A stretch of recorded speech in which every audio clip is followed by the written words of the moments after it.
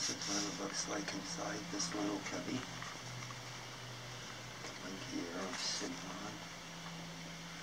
and one little platform